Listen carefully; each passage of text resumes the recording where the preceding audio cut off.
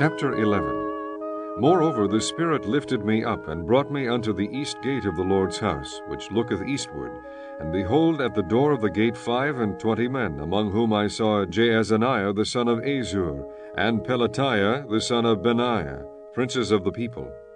Then said he unto me, Son of man, these are the men that devise mischief, and give wicked counsel in this city, which say, It is not near, let us build houses. This city is the cauldron, and we be the flesh.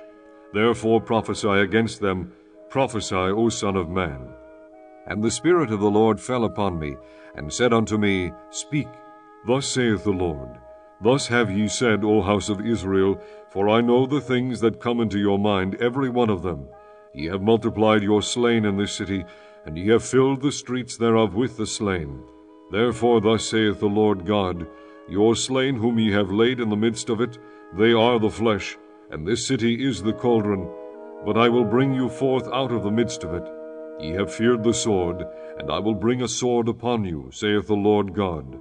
And I will bring you out of the midst thereof, and deliver you into the hands of strangers, and will execute judgments among you.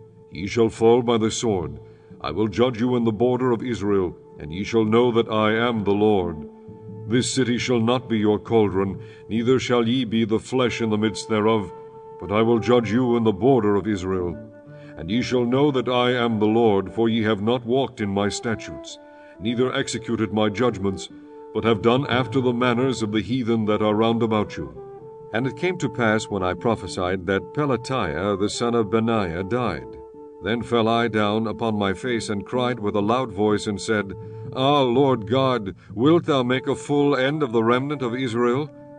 Again the word of the Lord came unto me, saying, Son of man, thy brethren, even thy brethren, the men of thy kindred, and all the house of Israel, wholly are they unto whom the inhabitants of Jerusalem have said, Get you far from the Lord, unto us is this land given in possession. Therefore say, Thus saith the Lord God, Although I have cast them far off among the heathen, and although I have scattered them among the countries, yet will I be to them as a little sanctuary in the countries where they shall come.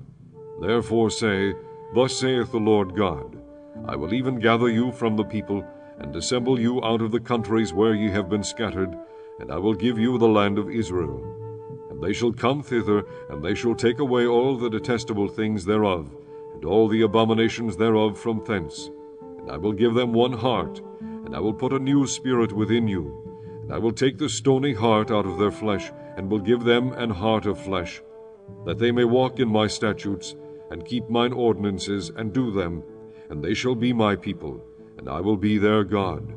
But as for them whose heart walketh after the heart of their detestable things and their abominations, I will recompense their way upon their own heads, saith the Lord God. Then did the cherubims lift up their wings, and the wheels beside them, and the glory of the God of Israel was over them above. And the glory of the Lord went up from the midst of the city, and stood upon the mountain which is on the east side of the city.